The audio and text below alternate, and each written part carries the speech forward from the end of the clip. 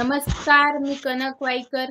चिन्हच्या आजच्या व्हिडिओमध्ये आपल्या सगळ्या प्रेक्षकांचं खूप खूप स्वागत. खर तर आजचा विषय खूप महत्त्वाचा आहे म्हणून इतक्या तातडीने व्हिडिओ करण्याचा निर्णय घेतला. काही दिवसांपूर्वी चिन्हने कला संचालनालयाची सीईटी संशयास्पद ही जी स्टोरी केली होती त्याला सर्वच प्रेक्षकांकडून आणि वाचकांकडून भरपूर प्रतिसाद मिळाला. विशेषतः विद्यार्थी आणि त्यांचे पालक यांचे फोन आम्हाला सतत येत होते. तर त्या अनुभवांबद्दल आपल्याला सांगतीलच. पण त्यापूर्वी ही जी सीईटी झाली त्याच्यामध्ये जे घोळ झाले किंवा जो काही एक प्रकारे जे आपण म्हणू की मिस सीईटीचा जो रिझल्ट लागला त्यामध्ये जे गुणवान विद्यार्थी होते आणि ते खाली फेकल्या गेले आणि ज्यांना ज्यांचं काम इतकं चांगलं नव्हतं ते वर होते. त्यामुळे आपण ही स्टोरी केली पण मग ह्यावर कारवाई म्हणून प्रशासनाने फार काही बदल केले नाहीत मेरिट लिस्टमध्ये फक्त या लिस्टमध्ये तीन नाव वगळले आणि बाकी लिस्ट जी आहे ती तशाच्या तशीच लावली.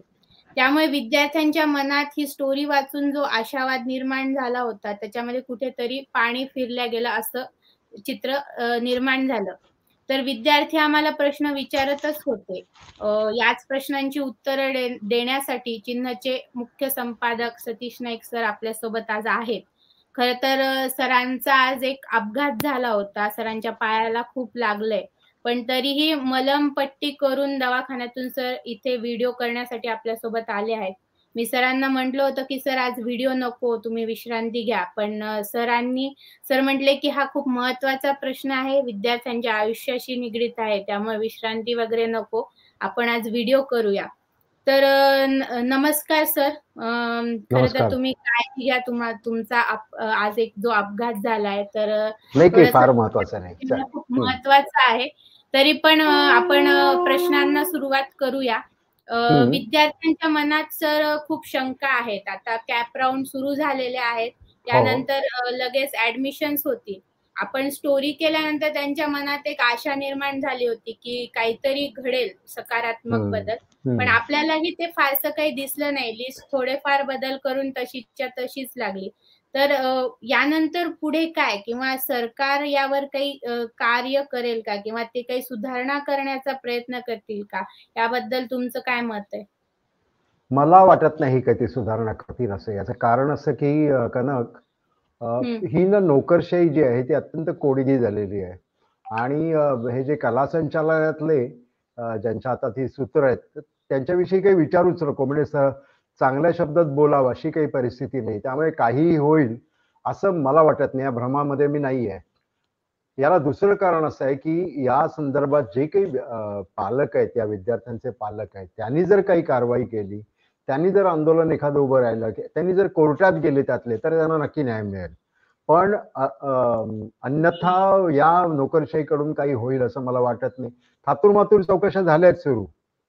त्यांना दम देण्यात आलाय त्यांची दखल घेण्यात आली आहे योग्य ती वगैरे वगैरे सगळं. पण या सरकारी नोकरीच्या याच्यामध्ये त्यांना तशा शिक्षा मिळत नाहीयेत. आणि जे व्हायला पाहिजे ते झालेलं नाही. मुलांच्या आयुष्याशी खेळ आहे हा तीन हजार मुलांच्या असं माझं स्पष्ट मत आहे. आणि त्याच्यावर कारवाई झाली पाहिजे होती. पण दुर्दैवानं सरकारचे काही हेच स्थिर नसल्यामुळं हे होत नाहीये ही वस्तुस्थिती आहे. पण एक एक असं झालं की आपल्या आपल्या आपण जो काही लेख प्रसिद्ध केले आपण जो काही गवगावा केला आपण जो काही प्रचार केला त्यामुळे हा सगळा विषय चंद्रकांत दादा पाटलांपर्यंत गेला. म्हणजे तंत्र शिक्षण मंत्री जे आहेत महाराष्ट्राचे त्यांच्यापर्यंत गेला. आणि त्यांनी चक्क रविवारी सुट्टी असून सुद्धा त्या दिवशी एक सभा घेतली. हे मात्र मला कळलं. आणि त्या सभेत त्यांनी त्याच्यावर अतिशय स्पष्ट स्वरूपात निर्देश करायचे का, का कारवाई करायचे असे निर्देश दिले तसं मला कळतं. त्यात सीईटी असेलच याविषयी मला ठाऊक नाही.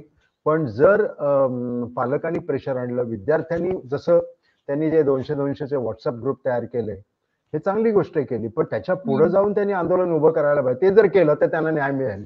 एवढं मला आणि सर आता आपल्यालाही असं कळालंय की चंद्रकांत दादा पाटील जे महाराष्ट्राचे उच्च शिक्षण मंत्री आहेत ते पुढेही एक मीटिंग घेणार आहेत. या हो. सभेमधून आपल्याला काय अपेक्षित आहे? एक कला अपेक्षित आपल्याला असं आहे की एकतर या सीईटी बद्दल त्यांनी निर्णय घ्यावा. अतिशय चुकीच्या पद्धतीनं हे या सगळं व्यवस्थापन केलं गेलं. ज्यांना अनुभव नाही कुठलाही अशा स्वरूपाचा परीक्षे घेण्याचा पेपर काढण्याचा आणि ते तपासण्याचा अशा लोकांना निवडलं गेलं. त्यांची पात्रता न देखील नव्हती असं माझं स्पष्ट मत आहे. उदाहरणार्थ की त्यांची जर पात्रता असती तर या चुका त्यांच्याकडून झाल्या नसत्या. अतिशय चुकीच्या म्हणजे एकच त्यातलं उदाहरण तुला सांगतो. ज्यांनी कोणी पेपर सेट केला आहे डिझाईनचा त्यांनी असा विषय हे दिला होता शब्द लिहिलं होतं जसं प्रश्नपत्रिकेत की सात बाय सात आकाराच्या त्रिकोणात डिझाईन करा. आता मला सांग सात बाय सात आकाराचा त्रिकोण होतो का? नाही म्हणजे तुम्हाला सात बाय सात बाय सात हा आकार हो, द्यायला पाहिजे होता. म्हणजे हे तुमचं हो. चुकलेलं आहे. किंवा तुम्ही असं म्हणायला पाहिजे होतं की सात बाय सात आकाराच्या समद्विभुज त्रिकोणात समद्विभुज त्रिकोण हा अठराशे सत्तावन्नपासून चालत आलेला हा शब्द. हो. त्यामुळे तो वापरायला काही हरकत नव्हता. पण दुर्दैवानं ज्यांनी हा पेपर सेट केला त्याला याचा गंध नसावा. त्यामुळे त्याने अशा पद्धतीने केलं आणि त्यामुळे त्याचं पर्यवसन असं झालं की काही लोकांनी त्रिकोणात बहुसंख्य लोकांनी त्रिकोणात हे केले. आता त्रिकोणाचा एक कोण कोणीतरी उंच काढलाय. काही हो. काहींनी त्रिकोण समोर ठेवले काही उंच खेचलेत लांब असे. एकाने तर एक म्हणजे आता आपल्याला हे एकच आपण म्हणतो कसं कारण आपल्याला त्या सगळ्या तपासणीमध्ये मिळालं म्हणून. पण अनेक मुलांनी माझा असा दावा आहे की चौकोनात काढलेली आहे चित्र. हो, हो. चौकोनात डिझाईन केलंय. हे चुकीचं आहे आणि त्याला मार्क दिले गेले आहेत. हेही अत्यंत चुकीचं झालं एक तर तुम्ही त्रिकोणा शब्द वापरला असेल तर त्रिकोण करणाऱ्यालाच तुम्ही हे द्यायला पाहिजे होतं. चौकोन करणाऱ्याला नापास करायला पाहिजे होतं पण तसं हो. झालेलं नाहीये. चौकोनातली मुलं देखील मेरिटमध्ये आलेली आहेत. मेरिटमध्ये जेव्हा जे काय असेल ते. ही कशी आली त्याची चौकशी व्हायला पाहिजे. तुम्ही प्रश्नपत्रिका चुकीची दिली. हे मी एकच उदाहरण सांगितलं. अशी कितीतरी उदाहरणं देईन.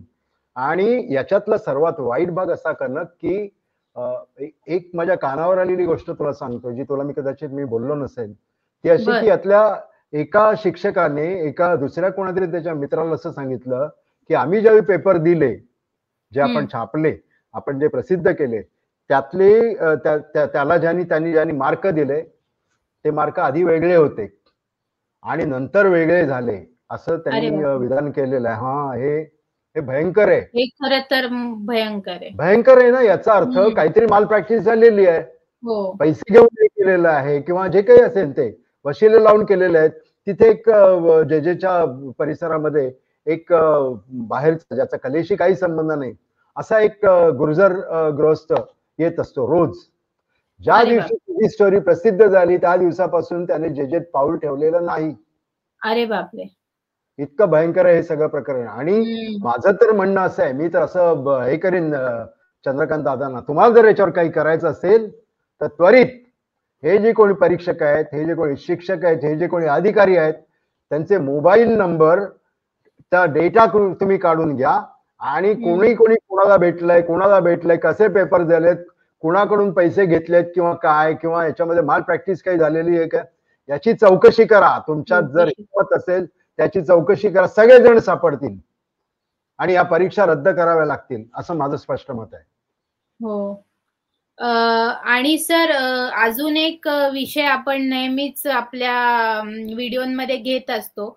खर तर जे जेला डिनोचा दर्जा मिळाला आहे पण याचं काम खूप संथ गतीने पुढे सरकतंय किंवा ऑलमोस्ट अजून पुढे काही त्याच्यावर झालेलंच नाहीये. तर याबद्दल तुम्ही काय सांगाल? त्याला काही नाही झारीतले शुक्राचार्य कारणीभूत आहेत. ज्यांच्या हातात ते आहे ज्यांच्या हातात कोणते आपले शिक्षण मंत्री आधीचे सामंत यांनी सूत्र दिली. त्या गृहस्थांनी हे सगळं दाबून ठेवलेलं प्रकरण म्हणून ते पत्र देत नाहीत. खरं तर हा शासकीय निर्णय आहे. हा सरकारी निर्णय आहे. तो केंद्र सरकारने दिलेला आहे. आणि त्याच्यानंतर मंत्र्यांनी सुद्धा केलेलं आहे. शिक्षण सचिवांनी सगळं त्याला काय म्हणतात त्याला त्याला पाठिंबा दिलेला आहे. त्यांनी कागदपत्र पण तरी देखील हा जो कोणी अधिकारी आहे आता नवीन आलेला तो हे सगळं दाबून ठेवतोय. याची खरी तर चौकशी व्हायला पाहिजे. आणि चंद्रकांत याची चौकशी केली ते सगळं प्रकरण बाहेर येईल. हो. हे जेव्हा आपण प्रकरण लावून धरलं सर तर मी पुन्हा एकदा म्हणेन की विद्यार्थ्यांच्या मनात खूप आशा निर्माण झाल्या होत्या. पण आता पुन्हा एकदा थोड्या प्रमाणात म्हटलं तर विद्यार्थी निराश झाले आहेत. अनेक विद्यार्थ्यांचे आपल्याला फोनही येत असतात. हो, तर हो. ही परीक्षा पद्धती सुधारेल का? किंवा आता जे परीक्षेचे रिझल्ट लागले ते रद्द होऊन नव्याने परीक्षा घेतली जाईल का? खरं तर कला क्षेत्रातल्या काही जाणकारांची ही मागणी होती आपल्याकडे, या परीक्षाच रद्द करून पुन्हा नव्याने घेतल्या जाव्यात.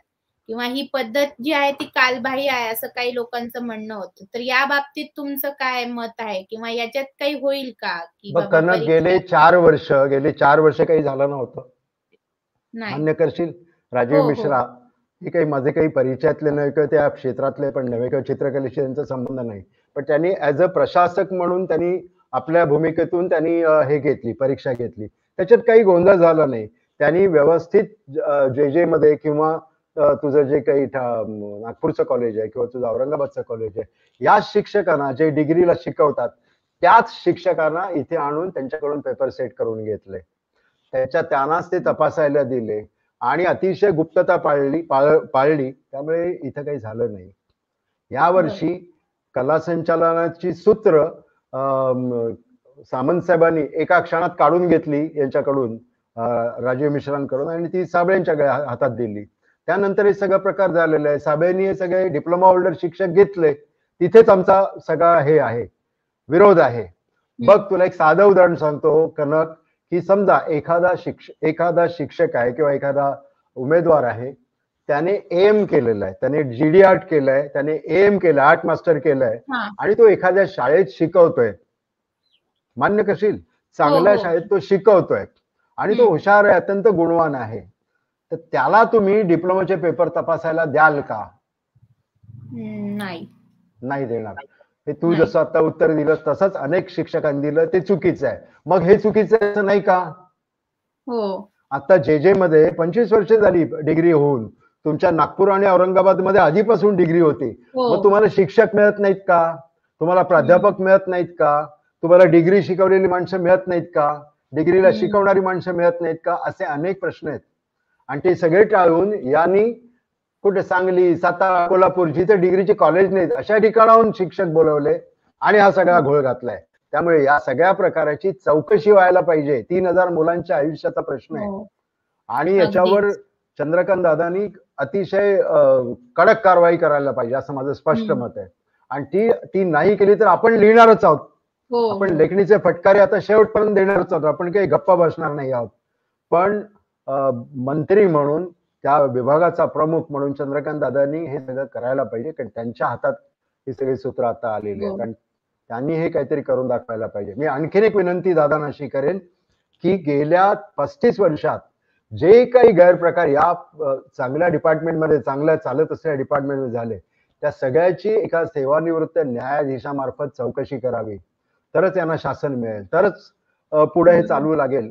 आज आपल्याला कला संचालक नाही आज कनेक्ट कॉलेजला डीन नाहीत सुशिक्षित आणि सुसंस्कृत डीन असा शब्द प्रयोग मी जाणीवपूर्वक वापरतोय.